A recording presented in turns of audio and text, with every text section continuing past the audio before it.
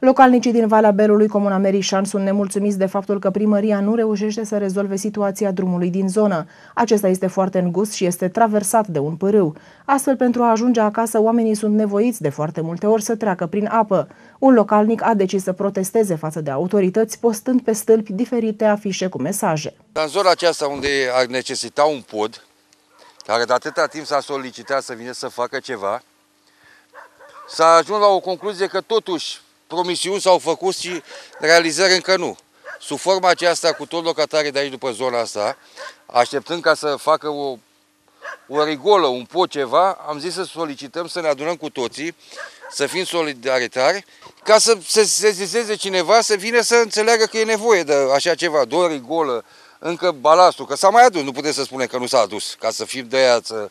Dar am zis că tot așa nu auzi cineva, dacă nu verbal, așa că ne întâlnim pe acolo și pe acolo, zice da, da, da. Așa că dacă rămâne ceva stris acolo pe, pe stâlp la porțile oamenilor, poate că avem o realizare viitor. Sunt copii, astea sunt problemele cele mai mari, sunt copii care merg la școală și ei, uitați acum, chiar că a prins o zi bună ca să vadă, acum când o să înceapă să vină, ei pleacă, ajung acasă uzi. Dimineața când se duc la școală, deja sunt uzi, șterge cu părinții pe aici, le fac pantofi, le fac alea, că deja vine nomoliți. Merg copiii la școală la Basco, merg aici la școală la noi, unde mai e. O mașină mai mică ar intra așa, o salvare mică, dar ca să fie, Doamne feriți, un foc ceva, ăla n-are șanse să, să aducă mașina pe unde e populația. În gheața acum, aici nu mai poate să mai iasă mașina. Trebuie să face niște dâmburi, uite așa și nu mai ieși. Trebuie să sari. Au fost drumuri, dacă nu aveai gârla, s-a luat, s-a făcut, s-a mai dărâmat, dar nu vine nimeni ca să facă nimic. A venit, a pus trei stâlpi și gata. Și a pus unul acolo așa, ca să treci cu piciorul. Vrea să facă drum pe aici, să facă. Cine trebuie nu vede. Vine și se uită și pleacă. Bagă mine în buzunar, uite așa și pleacă. Atâta vine. Primarul Comunei Merișan recunoaște că în zona respectivă este o problemă, însă susține că are un proiect în desfășurare pentru extinderea rețelei de apă și după finalizarea acestuia drumul va fi refăcut.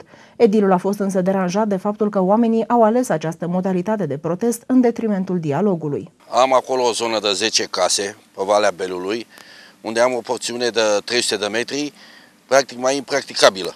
Am uh, practic uh, un drum care se va face în continuare, n-a fost drum, a fost o potecă. Am băgat piatră încă de ajuns că am un proiect de apă, să le bag apă și băgându-le apă acum primăvară, n-am reușit să bag atâta piatră, că e și păcat de piatră aia să o bag și pe urmă să o sap din nou. Dacă nu era proiectul de apă, să le bag apă, porțiunea aceea îl făceam de anul trecut. Am contract încheiat cu apă canal, că am delegată apa și canalul. Nu cred că o să dureze mai mult de o lună de zile. 300 de metri, deci nu e ceva așa extraordinar să nu se poată face într-o lună de zile.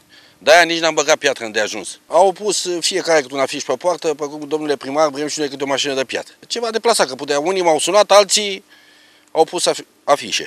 În perioada inundațiilor din anii 2013-2014, pârâul care traversează drumul a afectat gospodăriile oamenilor care locuiesc în zonă. Astfel, autoritățile trebuie să rezolve problema într-un fel sau altul.